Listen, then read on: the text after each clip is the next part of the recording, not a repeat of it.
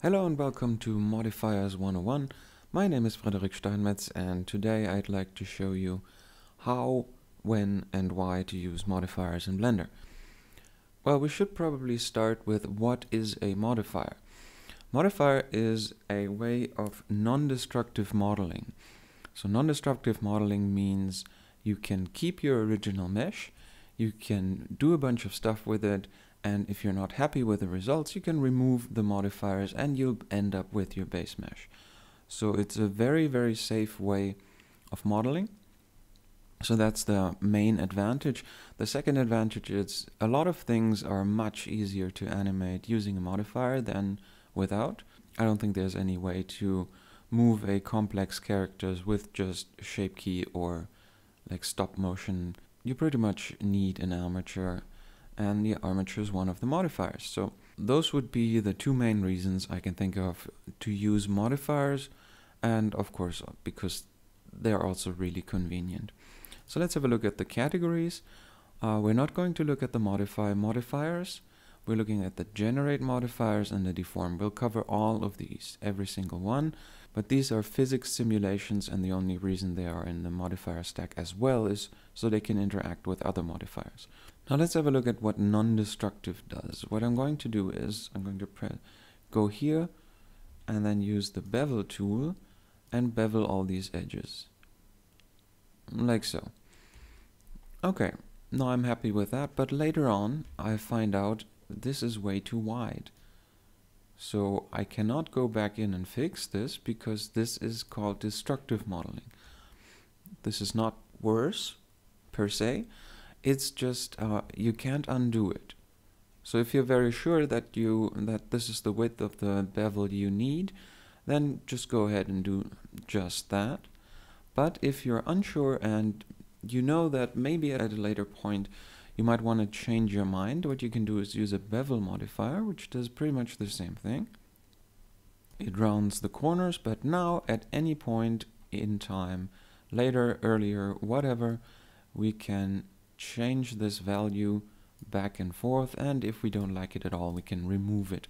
So if I go back into edit mode, you can see there's no additional geometry that's been produced.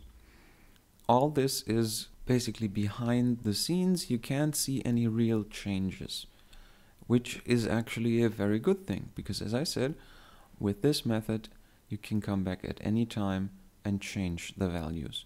I'm going to leave it fairly big for the next demonstration. The modifiers all work in local space. I can't think of one that doesn't at the moment.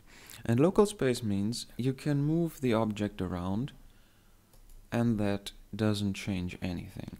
You can rotate the object and you can see the bevel modifier doesn't do anything. If this was world space, that means the orientation, rotation and position of the object make a difference. This is local space, so they don't. What does make a difference, however, is the scale. For example, if I scale this only along the x-axis, you can see this becomes really irregular. And same if I scale it along the y-axis. You can see this is probably not what you want. So this is because you can see the scale is irregular. The scale is 4 in x, 1, 1 in the others as well. So the effect of the body modifier, the amount here, does not get altered in y and z. So we still have these bevels you would expect, but in x it's way stretched. So if we apply the scale, that means we now have 1, 1, 1, and Blender just moved the vertices so to fit the new dimensions. You can see that the bevel modifier now acts like we would expect it to again. So that's the main thing you have to watch out for with the modifiers. If you're scaling irregularly, they might get very strange. And if you're scaling uniform, you can see this all stays relative. So the bevel has the same ratio to the object no matter how much I scale it. If you want to scale it down and you realize, oh, I can hardly see this now, you can go ahead and make this larger. So that's something to keep in mind. All the modifiers work in local space. the next really important thing is the order of the modifiers. You can see if I add another modifier here, see it becomes a stack, which is called the modifier stack. But depending on which modifiers you use, there can be a huge difference. Let's add the cube again, and let's add the bevel modifier again. And this time let's top it off with an array. The array modifier has a offset. We get to all these values in later tutorials. We have an in-depth series already, which is in 2.79, and we're upgrading it to 2.9 as we speak. So the array modifier creates copies of your object, and the bevel modifier bevels the vertices. And the array modifier has something called object offset, and the object offset lets you use a control object. And this is the next point I want to show you. We have uh, this empty, you can't see it right now because it's right in the middle of the screen, hidden by the cube, and now you can see it.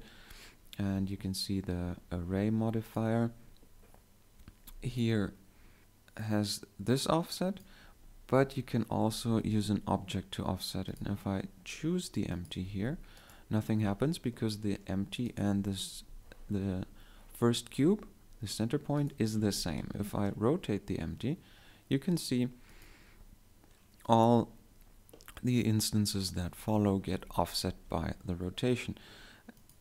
And the same applies to the scale. And at this point you can see again, this is probably the way you want it. If I drag the bevel modifier below the array, you can see of course the the width of the bevel is the same for all cubes even though the cubes get smaller because first we duplicate the cubes and then we apply the array and while we're duplicating this the cubes we're taking into account the scale of the object and if we change the order first we bevel and then we take into account the scale which means we're scaling the beveled version down so that's control objects. Let's have a look at a modifier that that needs what's called vertex groups. I inserted the monkey, right click and shade it smooth. And I'm going to add a modifier that's called a mask. Mask modifier is to quickly hide geometry, whether it be an arm under cloth or just hide geometry while you're modeling because you want to model on the inside of your object. But you can see it just hides the entire object, which is no use. So what you can do is go to the data properties here, the little green triangle, and we can create a vertex group. And if we go into edit mode, press tab and go into edit mode, or you can choose it up here, and we can now assign vertices to it. Let's just quickly uh, select the eyes because that's easy. I'll assign it to the group. Nothing changed except for the monkey is now completely there instead of completely hidden, which does look better, but it doesn't help me. So what you need to do is select the group. Once you created a group here, the entire list, you can create as many as you want, the entire list will show up in this drop down as well, and I can choose the group. So now only the eyes are visible, and if I invert the influence of the group, you can see the eyes are hidden and the monkey is visible. So that's vertex groups in a nutshell.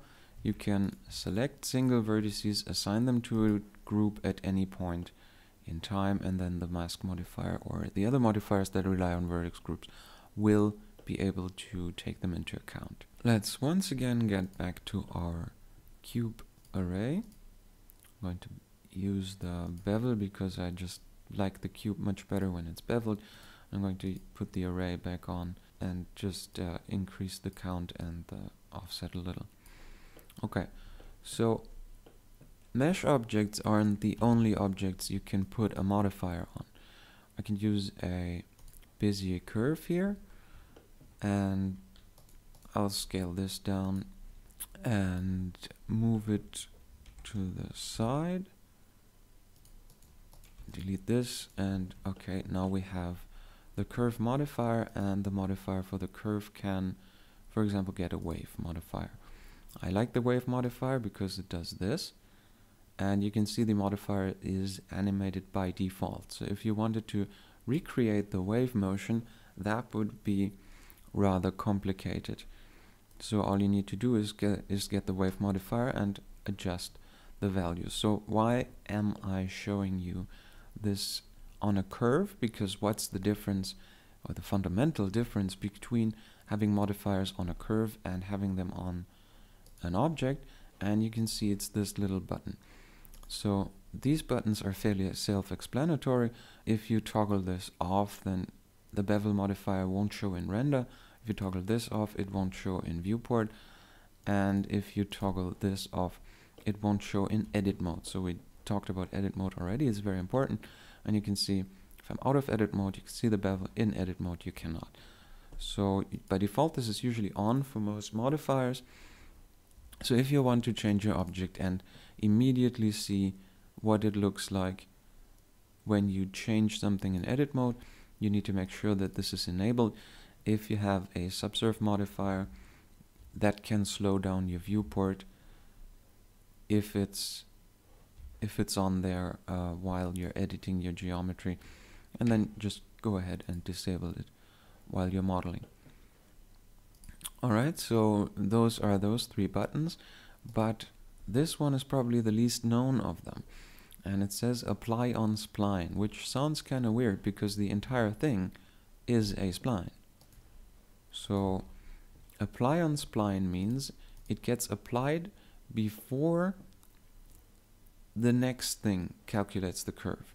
So basically if we use a curve, let's hide these and add a curve modifier, and again we have a control object so we can use this.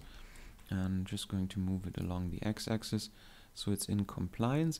You can see the curve is doing something. And if I go into edit mode and change the curve you can see my uh, chain of of cubes is following the curve. But the curve even though it's animated it doesn't change the modifier. So if you choose to apply this on the spline that means the modifier of the spline will be calculated first and everything else after. And for example, this is very important for spline IKs because if you don't have this on, the armature will be calculated first and then the curve. So it won't have any difference on the mesh.